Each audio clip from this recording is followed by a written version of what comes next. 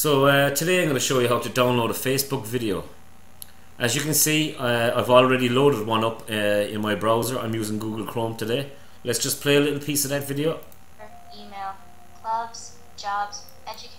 So uh, what I want you to do is concentrate on, um, come up here to the top in the video URL. This is where we're going to make a change. And what I want you to do is change the www dot section, but um, just to change it into take away the three W's and replace it with an M.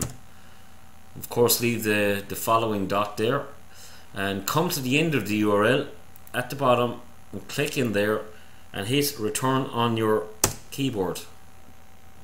This will load a mobile version of Facebook. Um, what we're going to do now is simply right click in any of the black area here or the title or the white area to save the video one thing to note is uh, don't right don't be tempted to play the video or right click on this uh, image or where you see the, the video uh, picture because you'll only save the, the image at this stage. So anywhere here on the right or the left here say in the black is just right click and click on save link as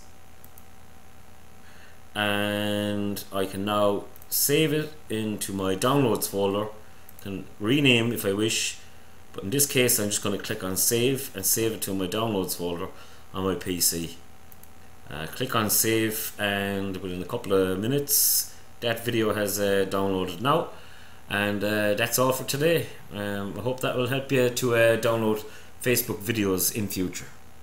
Thank you